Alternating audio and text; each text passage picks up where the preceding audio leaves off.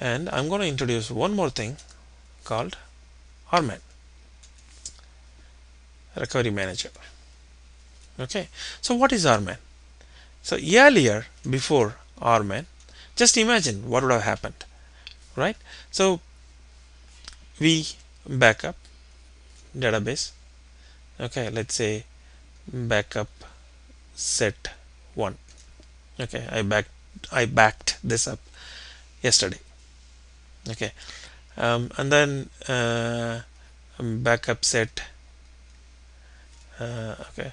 Uh, let's say uh, 2 okay this was backed up a couple of days ago. And then backup set actually I, this should be like 4 or this should be 3 2 anyway just remember right? This is a recent backup and a backup before and backup uh, um, prior to that you know it's always a good idea to cap to keep multiple backups. Okay? And I have lots of data servers. Okay? And then you know I keep uh, uh, you know common backup location or I keep the backup location wherever I want. So what happens after a while I have lots of backups right?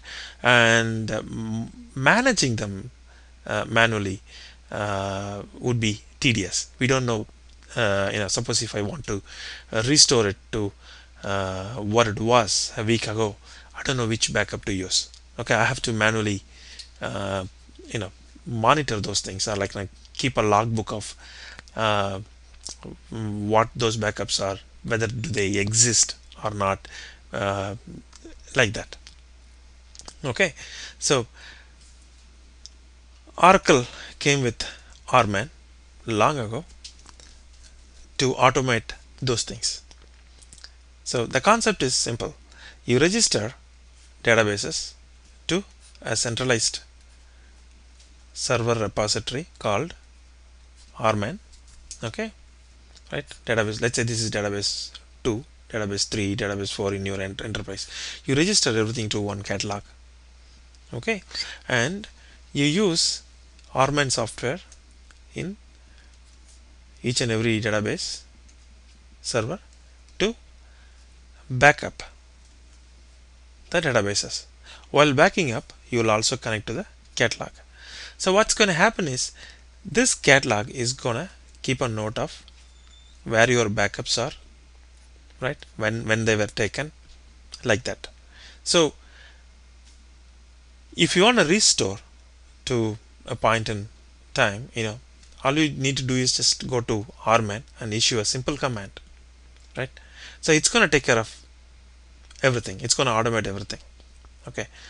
Um, what's going to happen is when you backup something the backup information gets copied in control files okay? But it could copy only uh, uh, some amount of backup information.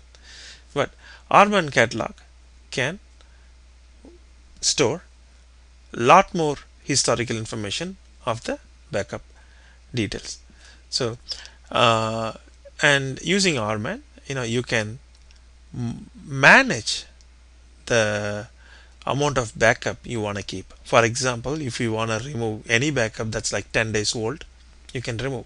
Or you can keep an automatic retention policy where you can expire backups which are like two weeks old or we, you can expire backups uh, you know after taking like two backups or three backups using the number of copies. So that's RMAN. So this is the backup recovery concept in Oracle. Okay.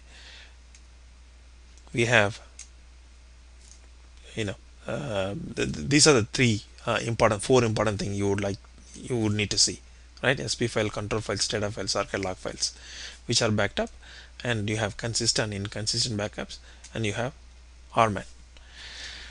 Thank you for watching.